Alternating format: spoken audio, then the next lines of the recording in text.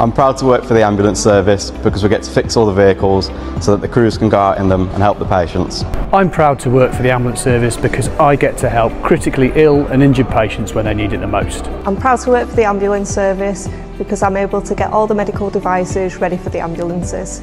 I'm proud to work for the ambulance service because I have an involvement in the development of new and existing staff and also volunteers from our community. I'm proud to work for the ambulance service in research because patients and staff deserve treatments that work and research is the way we'll find this out.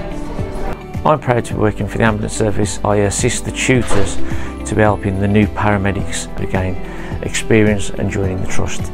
I'm proud to work for the ambulance service, getting the trucks ready for the front line um, crews to respond to 999 calls. I'm proud to work within the recruitment team for West Midlands Ambulance Service to help bring in the next generation of paramedics. I'm proud to work for the ambulance service because we've got to make sure that they've got every equipment what they need to keep the patient alive. I'm proud to work with the ambulance service as a call assessor so I get to reassure patients their time of need. I'm proud to work for the ambulance service, making sure that the ambulances are fully equipped for the crew who go out there and save lives. I ensure that people have got the correct and appropriate footwear and clothing to be able to do their job effectively.